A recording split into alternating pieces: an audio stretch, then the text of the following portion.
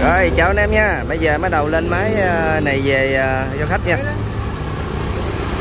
Đây là phụ, phụ kiện của nó đây ha. Đó, máy quá đẹp luôn nha.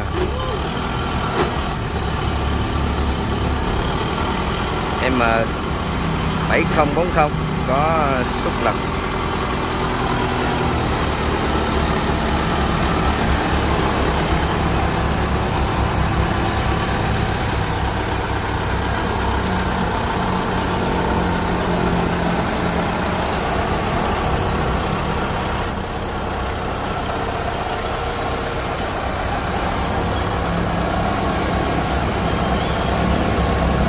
Rồi, cảm ơn em nhiều luôn nha.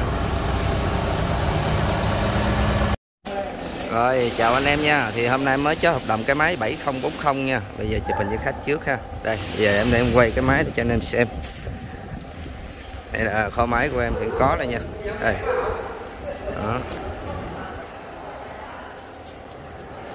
Đây. Chiếc à, uh, 7040 đó đây. Bây giờ để uh, em chuẩn bị là một số thứ bảo dưỡng cho cái máy này ha.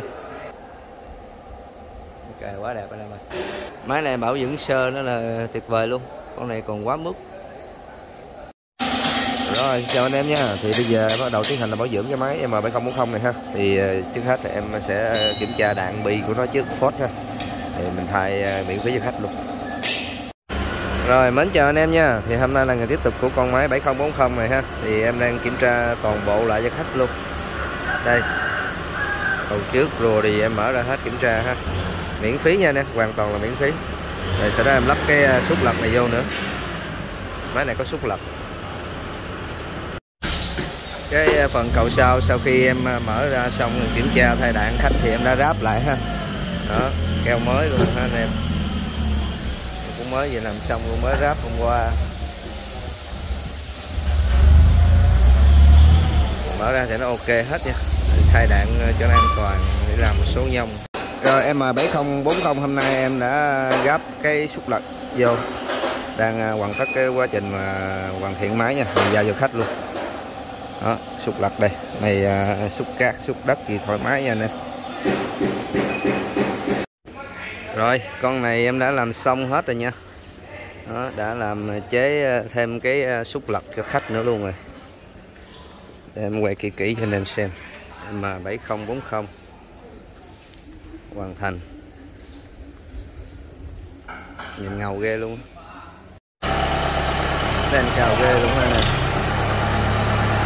Siêu cao luôn. Đó, quá đẹp luôn ha anh em quá ngầu.